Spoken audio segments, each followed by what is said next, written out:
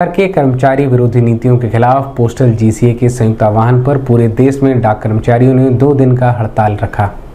इस क्रम में प्रधान डाकघर गोरखपुर में भी डाक कर्मियों ने कामकाज ठप करके हड़ताल का समर्थन किया।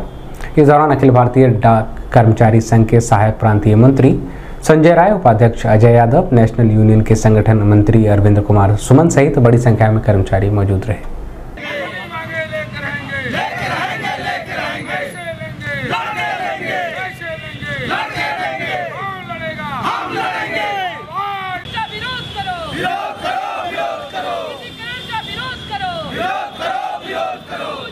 और इस स्ट्राइक को सेंट्रल गवर्नमेंट के अन्य भी यूनिट जो लेबर यूनिट है और स्टेट गवर्नमेंट की एलआईसी से इंश्योरेंस सेक्टर है और भी तमाम लेबर यूनिटें हैं जो समर्थन दे रही हैं। प्रमुख मांगे जो हैं हम लोगों की सबसे पहले पेंशन की बात है। पेंशन पुरानी पेंशन बहाल किया जाए। नई पेंशन सिस्टम को ख़त्म किया जाए।